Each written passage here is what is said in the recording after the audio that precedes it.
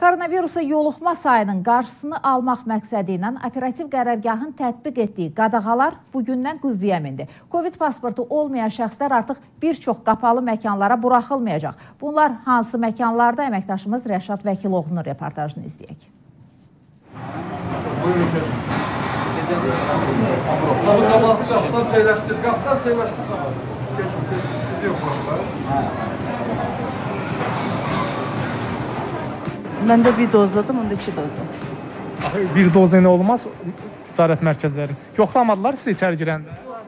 Operativ qərargah tərəfindən sentyabrın 1-də qüvvəyə minəcək qadağalarla bağlı ictimaiyyətə əvvəlcədən məlumat verilmişdi. Artıq bu gündən etibarən kafe və restoranlara, ticarət mərkəzlərinə, mehmanxanalara, idman zallarına müştəri kimi gələn şəxslər koronavirusa qarşı hər iki doza peyvəndin vurulduğunu təsdiq edən COVID pasportu təqdim etməlidir. Əks halda həmin şəxslər qeyd edilən məkanlara daxil ola bilməz. Operativ qərargah tərəfindən artıq bu gündən qanun qüvvəyə mindiyi üçün sərt hallardan başlayaraq bu kimi qapalı məkanların qarşısında uzun müddətli növbələr meydana gəlib.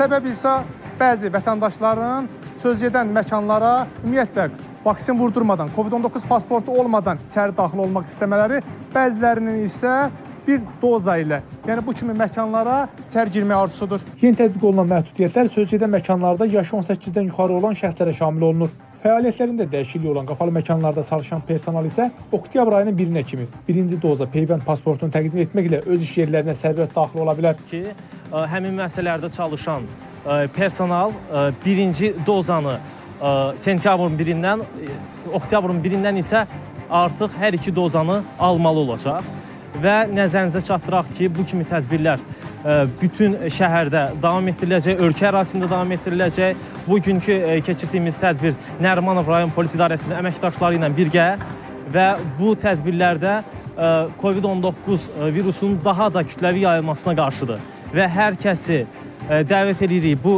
qaydalara riayət etməyə. Daha çox ə, kimləri qaytarırsınız burada? Birinci doza vurulan, ikinci dozanı qəbul etməyən vətəndaşlar və əlbəttə ki, vaksin olunmamış vətəndaşlar. İki vaksin ikisini də vurdurmuş. Aa, yox, hələ ki birini vurdurmuşam, bir dozanı. E, inşallah sentyabrın 9-u ikinci dozadır məndə. Bir dozanın ikisi də olmalı. Yox, mən elə bir şey. Xəbəri İkinci, ikinci dozan yəni ayın 24-də olacaq. Ə, işçilərə aiddir, müştərilərə aiddir. Mən nə bilim, birincini vurdumuşuq, ikinci də ayın 24-də yenə deyil. Aldı. Kimlərə aid olduğunu bilirsiniz. Kimlərə aid olduğunu bilir. Kimdir? Kimə? Bir ilə içəri daxil olmaq kimə icazə verilir? Kimə icazə verilir? Yeni qaydalara əsasən açıq havada fəaliyyət göstərən kafelərdə vətəndaşlardan COVID pasportu tələb olunmayacaq. Ancaq əksər ticarət mərkəzləri kimi kafelərə gələn müştərilərin bəziləri bu gündən qüvvəyə minən qadağalardan xəbərsiz olduqlarını deyirlər. Test sertifikatından deyil, pasportun olmadığı halda İstifadə eləmək olmur.